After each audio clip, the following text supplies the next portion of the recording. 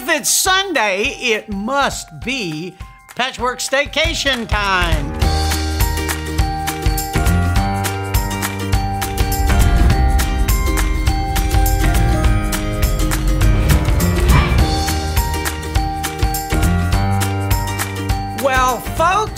I'm telling you, you've done such a great job of sharing your photos and your comments, and I'm just delighted to see the range of fabrics. And those of you who are, are commenting and, and being engaged, we really do appreciate that. Here's something we've had come up quite a bit. Where do I find stuff? It's sort of like, where's Waldo? It's like, where is this? It is so simple. There's an arrow right below the video.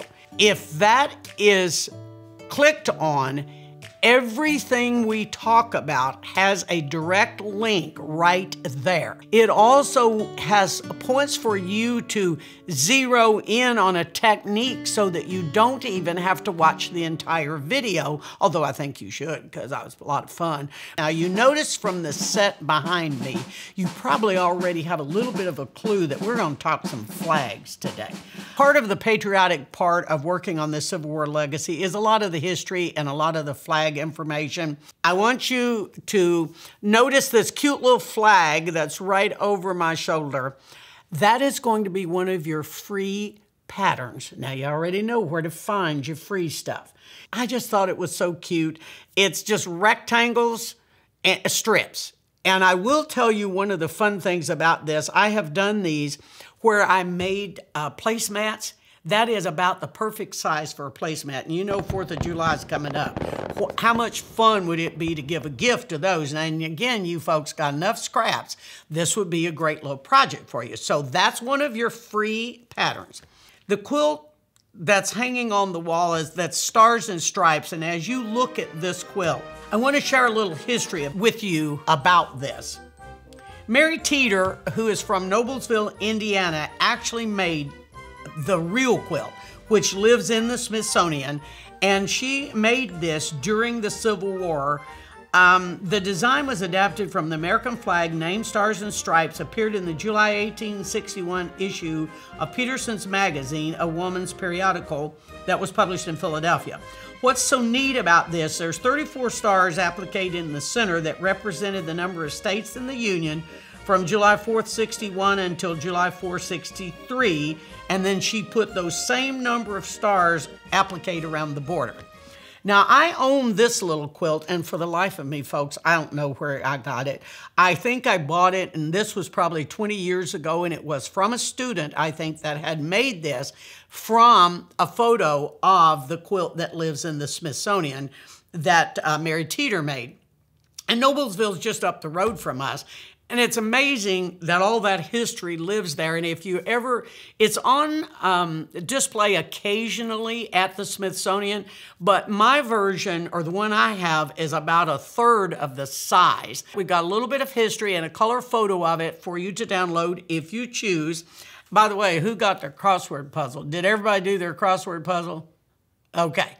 And if you still need an answer, I'm not going to share it yet. You've also got a little two-page handout that is going to teach you how to take a piece of paper and fold it and get the five-pointed star that our friend Betsy Ross encouraged George Washington to use instead of the six pointed star that he was going to put in our flag.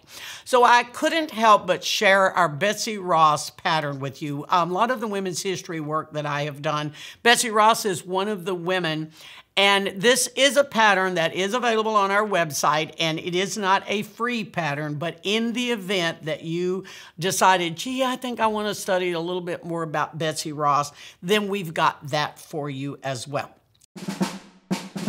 Let's take a look at Union Square. Now, I've pieced this block a lot of ways in a lot of sizes, and it is, as you look at this on camera, and by the way, it's on page seven in your book. For those of you who are working with AccuQuilt, A is die one, B is die four, C is die two, and D is die five using your AccuQuilt 8 inch cube. Your traditional math is written in the book.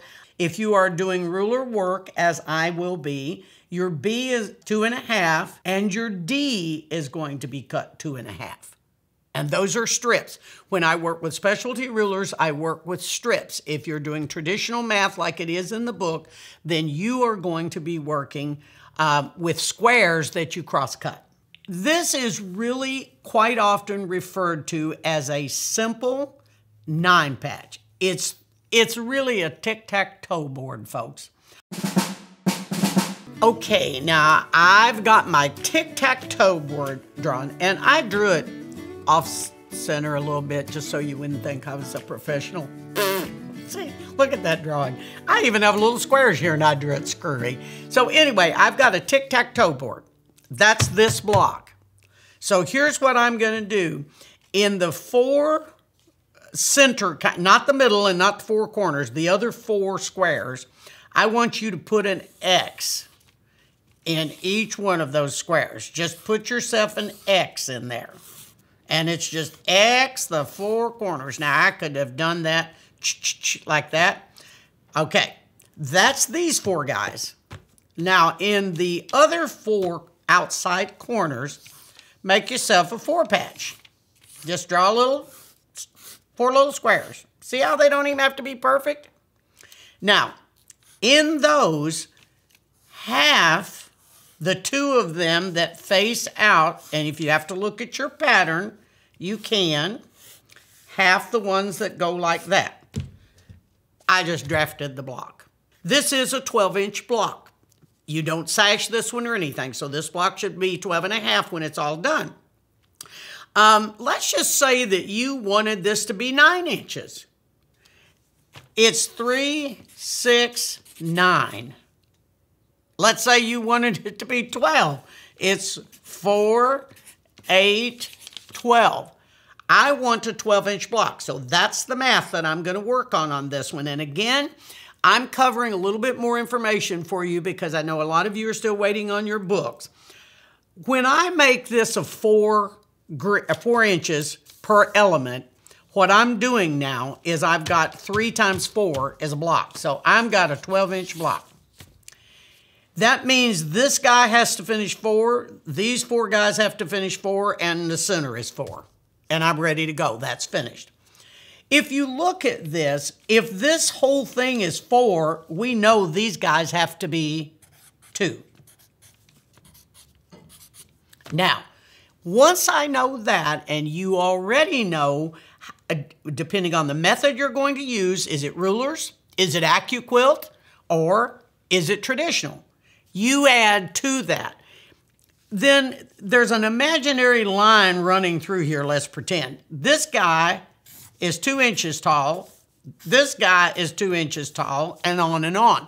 Quarter square triangles are a little bit different in that quarter square triangles will calculate, you know the old 7 eighths we talked about on the half squares? The quarter square triangle would want to know what this measurement is, which we've determined is 4, and it wants an inch and a quarter added. So I would have to cut, according to your pattern, a five and a quarter inch square and cut it twice to get four equal quarter square triangles with seam allowance added. That's why I don't like doing this, because I got to cut a two and a half here, a two and seven eighths inch there, and a five and a quarter there. I'm already in a bad mood, folks, if I have to do all of that if I own a half square triangle and a quarter square triangle. This entire corner comes out of a two and a half inch strip with my ruler.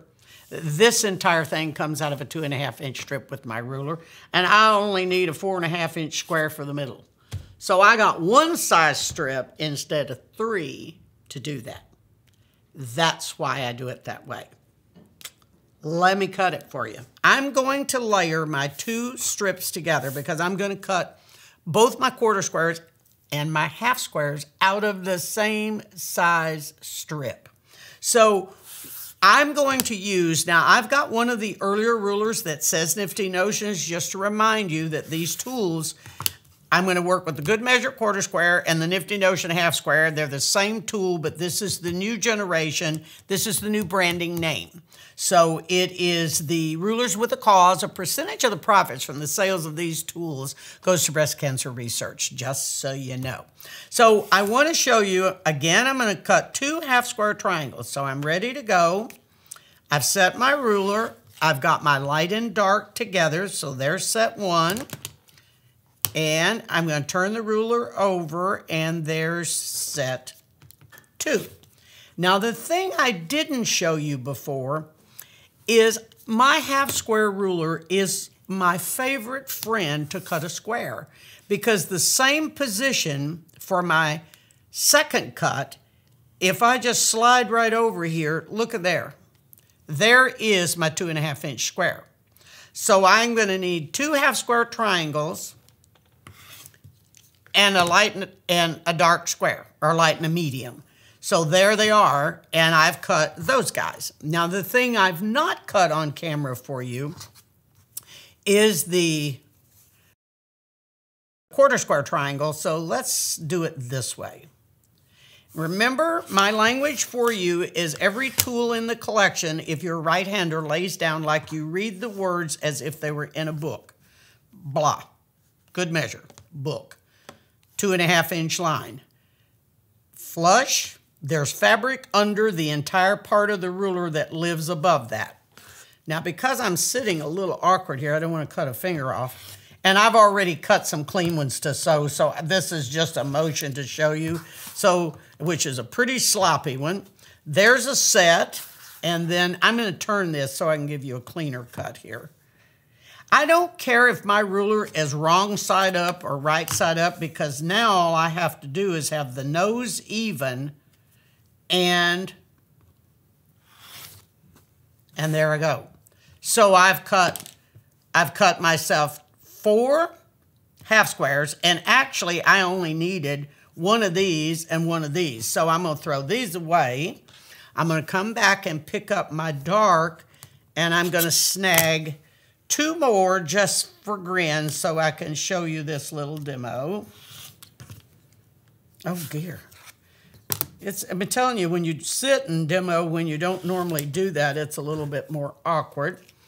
Now, here's what I want to lay out, and then I will sew this.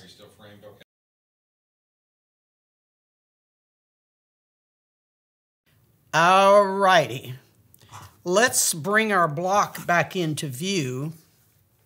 Now I've used different fabric, but because I want you to be able to see this when I sew it. So there's my background. This is kind of my medium. This could have been a light. And then my two darks. That's it. And then I've got my half square triangles. Let's sew it real quick. Okay, now that you've seen me cut the quarter square triangle, my next decision is there's four elements. Which two am I going to sew together first? I can sew this pair together and that pair, or I can sew this pair and this pair. There is no right or wrong, but once you make the decision, stick with it. So this is my outside block. This is my background. So I'm more inclined to join these two and these two, but I wouldn't be incorrect if I did the other. So I've made my decision. So if I were going to sew 50 of these, this is how I would sew it. So now I'm going to pick these up and I am going to sew a couple triangles and I'm going to go to the machine. Okay, now we're ready to sew. And if you'll notice, my needle is in the down position. And I know a lot of you are going to want to know, why is that little piece of red fabric in there? My machine doesn't need it. I've just sewn with it forever and I like it in there. It's kind of my little leader, starter, cheater, whatever you want to call it. So my needle is in the down position. I'm raising my foot. I'm going in and now I'm going to sew my two sets of quarter square triangles together. And now I'm going to pick up, oh, I didn't lock my needle down. Now I'm going to pick up the next one and run it through. Now I told you guys I wasn't going to sew another triangle, but I am going to put one of the half square that I cut two. I'm going to put one of those in just so I can sneak in and get out my two quarter squares. Now what I'm doing is I'm going to make the decision to, to press them to one side. And this dark one, I'm going to press everything. See if I do that one there and then this one here, and then I pick these up and I'm going to come back together. See, I've got the two sets sewn and I'm working these so that you can get a clear picture, but I wouldn't be yanking on this because it's bias. So I'm going to lock those two seams right there. And I'm going back to the machine. Now I've got that in. I'm to take one or two stitches. And this is where I like to take the time to make sure that I've got that guy locked in. And then I'm going to sew right through there and then I stop when I cross that, and then again, the stiletto is just kind of like an extra finger. Now, right now, I've got one more half square. I'm going to pick him up and slide him in only so that I can go in the back and cut this. So now I like to go ahead when this comes out of the machine and I get all four of those points cleaned up. And if you're if you're a little skittish about this, then certainly you can always go to your cutting mat. Now, there's my unit.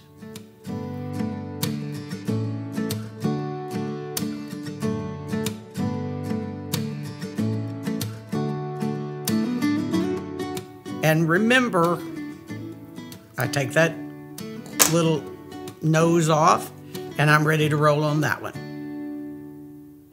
So all they really are is this little guy right here. So the two squares I cut, there is this unit. So I'm just gonna sew set one, set two, boom, got that guy. Then you saw how I positioned to get this guy. So right here, is what this would have looked like had I used this coloring. This, how you color this one is going to be strictly up to you. Here I showed it with a, a medium sort of. Here I did a light and a medium light. It's just preference. Now I want to, I'm going to grab this one off camera to show you. Look at my 30s one. How slick is that? it's real clear that I wanted this to pop a little bit. And I'm just having a good time mixing these. But what I want you to see is these are really just nine squares and we created something different in these corners. Now, I just can't stand it. One of you asked me a question on, um, on our Facebook page about starting the some of the finishing things. So if you were to turn to page 15 in your book, you'll notice that this is the one that has got all of our little filler elements. Now, I know obviously where I'm going with this because I've made four or five of them. While I'm sure for you this is a little daunting. Now, as you look at page 15 in your book, you're going to see at, oops, I'm a little backwards here. You'll see that there's a bunch of little strips below this. And if you count those, there's 12 of them. If this is a 12 inch block, I know that each one of those have to be an inch. Your directions are there about what size to cut them.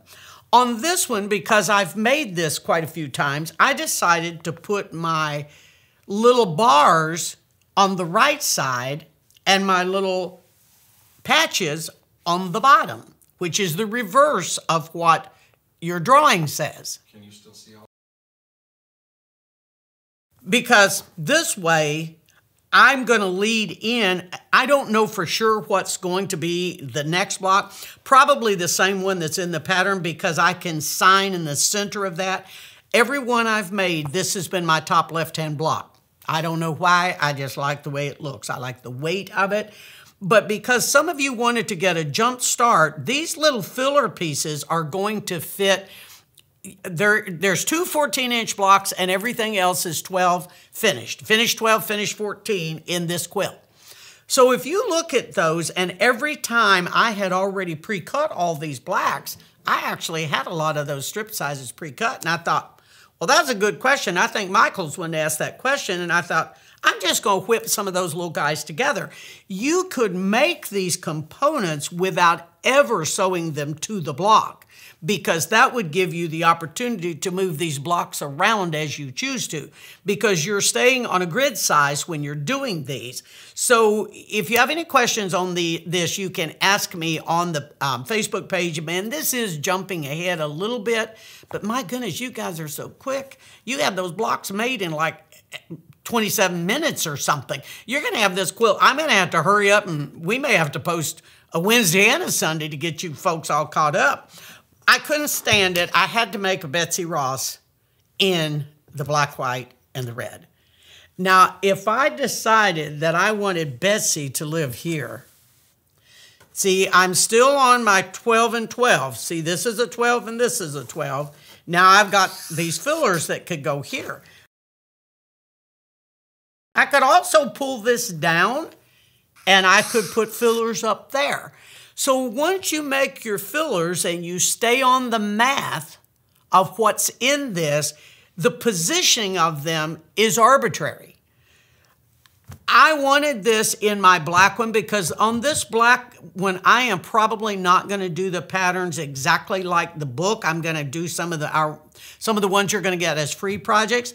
My blue one is going to be exactly like the book. My 30s and my black one, I'm going to vary a little bit, and I'll share those with you as I move along because that'll give you choices about how you're going to do it.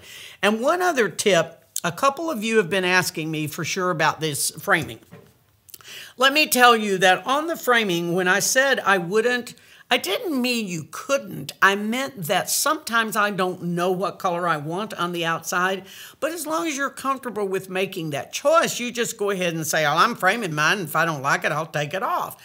But here's the other thing I want you to bear in mind. There's one block in your book. The Confederate basket on page six in your book is a 10 inch block that gets turned on point and framed and it becomes one of your 14 inch blocks. You only have two 14s in the book.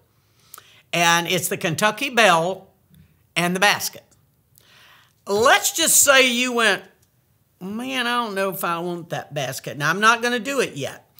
Any of the 10 inch blocks you have, which you, one of yours that you just did, your memory wreath was a 10 inch block. If you didn't frame memory wreath, memory wreath could be turned on point and could replace the Confederate basket. So I'm going to also, as we get a little closer, I'm going to give you another couple of basket choices that you can put in lieu of that particular one. The name would, of course, not be the same, but, you know, we don't have police on this sort of thing. So I'm getting, I want some flexibility in your choices because that's what makes it uniquely your quilt. I mean, anyone can take a pattern and recreate it and make it exactly like the one that's made. And I'm always flattered when you choose to do that. But I'm more inspired when you go a little bit rebel. oh dear, rebel, Civil War. If you go a little bit rebel and you say, wait a minute, I'm going to do mine this way that is my goal in this class is to be able to help you move past maybe what you have done. Many of you could be teaching this class. I'm well aware of that. But for those of you who this is kind of um, a new adventure, I want you to feel real comfortable in the direction you're going. So that's just a little snippet in choices. I don't want to confuse those of you who are new in this, but I also want to keep those of you who are um, have more skill in this to be comfortable and not bored. I want you to be able to move on. I want to talk one other thing on product, and I don't know if you've seen me work with this. This is one of those things that you need to be calling your retailer. Wherever your quilt shop is, and bless their hearts, they're trying to stay open, they're working, they're doing frantic, run out the front doors all masked and, and geared up to be able to deliver thread and fabric and stuff. A pressing mat, I've used one for years. I don't need it necessarily when I'm um, when I'm working with my Laurastar iron, but boy, I'll tell you, on most any iron, there's not enough steam and enough heat to really get the blocks flat. There's all brands, there's all different sizes. I love this one because our largest square ruler is 14 inches and this rascal's 14, which means almost always my 12 inch blocks are gonna lay on there and I could press these little fellows all day long this way into this. Um, I am sure that every one of your retailers are sitting on some sort of a pressing mat, a wool pressing mat. Um, give them a call and say, I don't own one of these and I need one, and what have you got? And I'm sure they will be thrilled to hear from you. I wanted you to be able to see one of my colorways on everything I've made to this point. So I chose the black because I didn't do a Betsy Ross in the other colors. Who knows, I might. So these are the four that I have completed thus far for my black and red. And as you look at those, you're going to see, oh dear, I didn't think I wanted a Betsy. Well, maybe I do want a Betsy. And that's an alternate block, and you're going to have other choices as we move along. I hope I have given you enough to work on. Some of you folks who are just kicking these out, I'm telling you, you may have to start another quilt. I did post on the uh, on our Facebook page that you might even consider taking a block that you just love and making two or three blocks of that just to get working through your stash and make some table runners. And you know, Christmas will be day after tomorrow, and then you'll have your presents all done. Please be sure that you subscribe to the YouTube channel and, you know, click the button, you know, all that little routine of all the stuff that happens. Also, really start searching and make sure you also know where to find everything. How will I get these handouts? How will I get these things? And everything is going to be in detail. Brian works like overtime, and he not paid for overtime. And he works overtime trying to get this and all spot proof and all that bunch of stuff. Uh, continue to share your photos for us. Like this, encourage your friends to join us. And here's the other thing. Somebody said, I don't want to be behind. You will never be behind because this is kind of like watching all of a Netflix show at one time. So you could just binge watch all these sessions at the end and just work marathon or something. So it doesn't matter if you start this week, next week, or the next week, you can catch up by watching these. So for those of you who your friends are kind of lagging because they're like, oh, I'm already a week behind, you're never going to be behind on this. I'd give $100 for a manicure right now. So we're all going to have to just survive this with the best we can do with what's in front of us. But stay safe, enjoy, have a great time. Post on Patchwork Staycation, and we'll see you next Sunday. Bye bye. I just went straight into the block without saying, now let's sew. No, you didn't. Oh, did I? Yeah. Oh, okay. And even That may make more sense.